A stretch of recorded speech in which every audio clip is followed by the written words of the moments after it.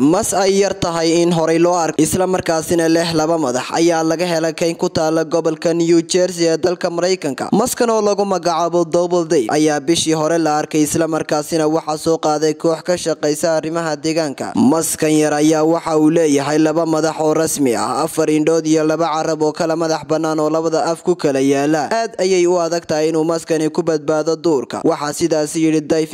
oo ah khabiir dhanka deegaanka waxa uu intaasi ku daray in maska ay ku adkayd inuu xamaarto markii uu isku dayay inuu baxsado taasi oo sahlanaan lahayd inay qabtaan dadka ugaadhsada master skyner oo ah khabiir dhanka deegaanka ayaa sheegay in isaga iyo saaxiibadiis ay markii ugu horeysay maska labada madax leh ee double dave ku arkeen shan iyo labaatankii agost kainta bain branes arrintani ayaa dhacday xilli ay daraasad ku samaynayaan masaska nooca retangle nika oo dhalayay masaska labada madax leh ayaa caadiyan waxa ay dhashaan iyaga oo mataane isku dhegana magaca dob dive ay u bixiyeen sababtoo ah master scanner iyo saaxiibkii ayaa waxaa labadooda magac uga horeeya uu yahay magaca david master scanner oo sheegay inuu ogolaanshiya ka helay maamulka gobolka new jersey si uu maskani u hayo isla markaasina u darso cabdirashiid maxamuud maxamed wararka star t v